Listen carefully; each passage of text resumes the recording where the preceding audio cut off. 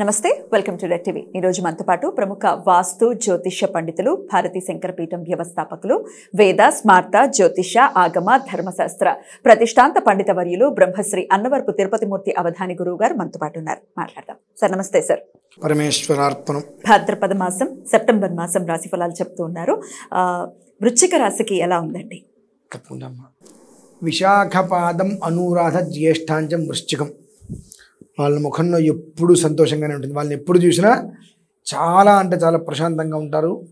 ఈ నెల మాత్రం ఈ నెల ఇంకా చెప్పాలంటే పై వచ్చే నెల కూడా గడ్డు కాలమని అని చెప్పాలి. అంటే ఏంటంటే ఫోన్ల మీద ఏ పనైనా చేయగలుగుతారు కానీ ఆర్థిక ఫైనాన్షియల్గా ఆర్థిక పరంగా మాత్రం వెయ్యి రూపాయలు కావాలన్నా ఎదురు చూడాల్సిన పరిస్థితి ఉంది ఆర్థిక పరంగా ఒక వెయ్యి రూపాయలు అవసరం అన్నా కొంచెం ఆలోచించాల్సిన పరిస్థితి ప్రజెంట్ వృశ్చిక రాశి వారికి ఉంది. గత ఇరవై ఐదు రోజుల నుంచి అది నడుస్తుంది పాపం వాళ్ళకి.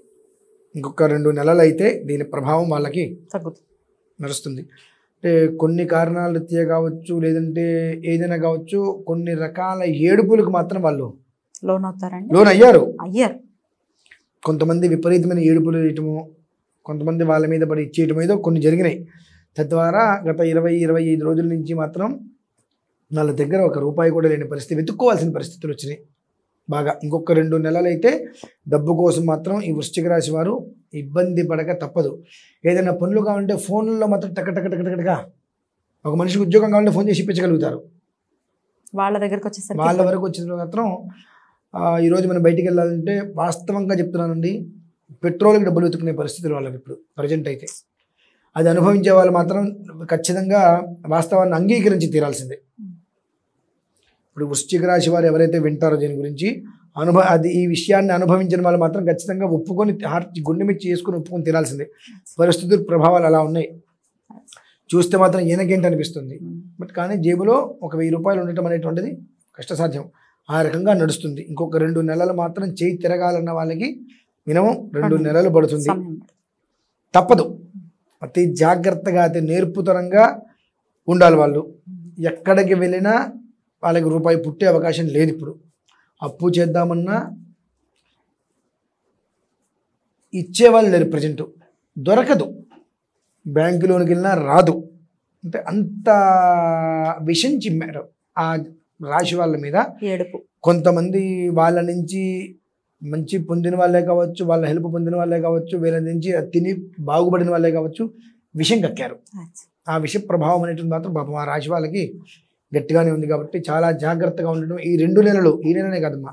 వచ్చే నెల కూడా. వచ్చే నెల కూడా వాళ్ళు అత్యంత జాగ్రత్తగా ఉండటము. భాద్రపద ఆశ్వేజ మాసం అమావాస్య వరకు అంటే దీపావళి అమావాస్య వరకు వృశ్చిక రాశి వారు చాలా జాగ్రత్తగా ఉండటం అనేటువంటిది చాలా అవసరం. అజాగ్రత్తగా ఉంటే మాత్రం అడ్రస్ లేకుండా పోయే అవకాశం ఉంది. అజాగ్రత్త అంటే ఏం లేదు. ఎవరికో ఇంకోటి ఏదో చేద్దాం ఇంకోటి ఏదో చేద్దాం ఇంకోటి ఏదో చేద్దాం అనుకుంటే చేసినంతసేపు చేయించుకుంటారు. చివరికి ఏంటంటే మనకు దిక్కు లేకుండా వస్తాం. అడ్రస్ లేకపోవడం అంటే భయపడతారు. మళ్ళీ అది కాదమ్మా. ఎదుటి మనిషికి చేద్దాం చేద్దాం చేద్దాం చేద్దాం అనుకుని చేస్తుంటారు. చివరికి వేరేకి వచ్చేటికి దిక్కు ఉండదు అవమానాలు వస్తాయి. అనుమానాలకు దారితీస్తాయి. లైఫ్ అనేటువంటిది అరకత్తరలో పోకుచక్కలాగా అయిపోతుంది వీళ్ళ పరిస్థితి. కాబట్టి వృశ్చిక రాశి అనేటువంటిది ఆ తేలికొండలాగానే ఉంటుంది పాపం. ఆ తేలిని చూస్తే ఎంత భయం వేస్తుందో వాళ్ళ. జీవితం మాత్రం ప్రజెంట్ దినదిన కంటే నూరేళ్ళు ఆసినట్టుగా నడుస్తుంది ఇప్పుడైతే. గత ఇరవై రోజుల నుంచి అంతే ఉంది. రానున్న అమావాస్య అంటే ఆశ్వీజ అమావాస్య వరకు నవరాత్రులు అయిపోయిన తర్వాత మన దీపావళి అమావాస్య వరకు మాత్రం వాళ్ళ గురించి మనం ఎన్ని ఏది చెప్పుకున్నప్పటికీ కూడా ఈ సమస్య అనేటువంటిది అలా వస్తూ ఉంటుంది అమావాస్య తర్వాత ఏదైనా వాళ్ళకి మంచి యోగం అనేటువంటిది బట్ ఈ లోపు అసలు నిన్న- ఆర్థిక పరమైన ఇబ్బందులు ఉన్నాయంటే నిజంగా కుదిపేస్తుందండి. ఎలాంటి మనిషినైనా. సందేహమే లేదండి. ఎవరిని చేసే వ్యాపారం కూడా అన్ఎక్స్పెక్టెడ్గా ఆగిపోతుందండి. Right. మరి ఏంటి సార్ వాళ్ళ ఆల్టర్నేటివ్ నెలకి నెలకు కాదు రోజుకి లక్ష రూపాయలు సంపాదించే వ్యాపారం ఉన్నా నెలకి లక్ష రూపాయలు రాదు. ఒక్కసారిగా అంతా కూడా అంటే ఏంటంటే ఈ రాశి ప్రభావ గమనాలు ఎలా ఉన్నాయంటే తక్కువలో తక్కువగా కొన్ని వందల మంది వీళ్ళ మీద పది ఏడుస్తున్నారు. సందేహమే లేదు. అది కుటుంబీకుల బయట వాళ్ళ ఎవరైనా విషయం అనవసరం అప్రస్తుతం. బట్ కాకపోతే మాత్రం ఇందులో ఇంకోటి బయట వాళ్ళకి ఎరవాల్సిన అవసరం లేదు. వీళ్ళ నుంచి హెల్ప్ పొందిన వాళ్ళు. వీళ్ళు వీళ్ళు వీళ్ళు బా బాగుపడకూడదు. వీళ్ళు అన్నం తినకూడదు. వీళ్ళకి అన్నం దొరకకూడదు. అనేక రకాల కారణాలు. నరదిష్టికి నాపరాయి అయిన పగిలిపోతుంటారు పగిలిపోతుంది. చూశారండి?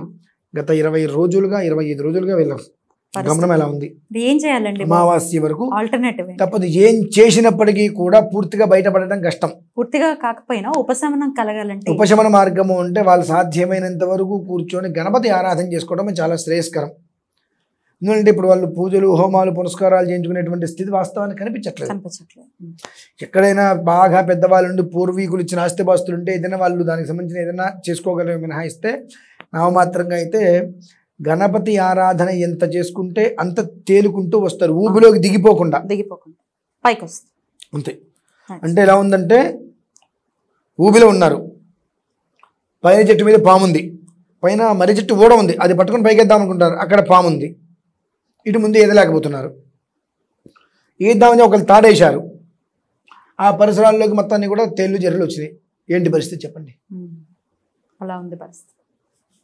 అంటే ఏంటంటే దారులన్నీ కూడా ఏ రకమైన ప్రయత్నం చేస్తున్నా దారులన్నీ మూసుకుపోతున్నాయి పాపం. ఏదో ఒక రకమైన కష్టం అనేటువంటిది పడి ఆ పామిలా ఉన్నప్పుడు ఈ చెయ్యి ఇటు చూపి చేత్తో పాముతో సహా పట్టుకోవాలి. తప్పదండి. ఈ చెయ్యి ఇలా పెట్టుకొని ఇక్కడ పట్టుకోవాలి దాన్ని ఇట్లా కొమ్మను పట్టుకుంటే పైకి వచ్చేస్తారు. కానీ ఇక్కడ పాము ఉంది ఈ చెయ్యి ఇలా చూపించడం లేదా ఈ చెయ్యి ఇలా చూపించడమో ఈ చెయ్యి చూపించడం పాము ఇటు తిరుగుతుంది కదా. ఆ పాము మెడకాయతో సహా కొమ్మను పట్టుకుంటే అదేం చేయలేదు. అప్పుడు దాని పైకి వెళ్ళి పామును పక్కన పడేసేయచ్చు. అంటే ఎలా ఉందంటే వాస్తవ పరిస్థితి చెట్టు మీద ఉన్నాడు. చెట్టు కొమ్మ మీద ఇటువైపు పాము ఉంది. కింద నీళ్ళు నీళ్ళల్లో మొసలు ఉంది. అటువైపు సింహం ఉంది. అటువైపు ఎలుగుబంటి వస్తుంది. వీడి పరిస్థితి ఏంటి? అగమ్య గోచరం.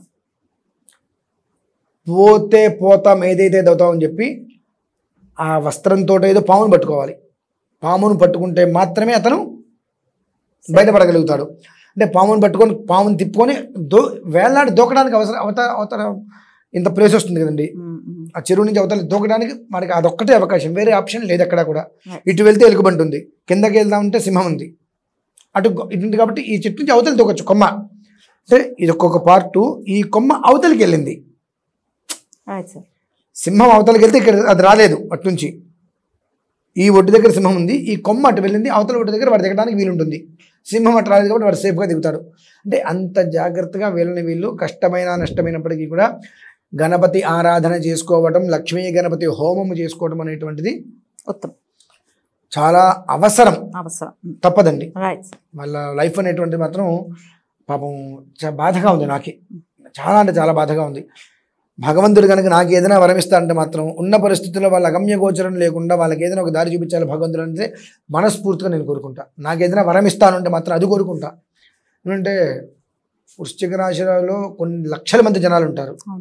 ఒక మనిషి నష్టం కలిగిన కుటుంబం ఇబ్బంది పడుతుంది. కాబట్టి వాళ్ళెవరికి ఎలాంటి నష్టం కలగకూడదని కోరుకుంటూ ప్రతి ఒక్క మనిషి ఏమాత్రం ఇంట్లో అవకాశం ఉన్నా ఓం శ్రీం హ్రీం క్లీం గ్లౌం గం గణపతయే నమ అని నూట ఎనిమిది సార్లు స్నానం చేయగానే ఇంట్లో కూర్చొని మాల పట్టుకొని ఓం శ్రీం హ్రీం క్లీం గ్లౌం గం గణపతయే నమ.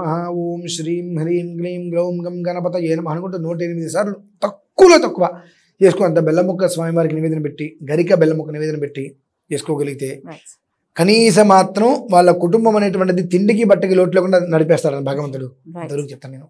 Thank you so much sir నమస్తే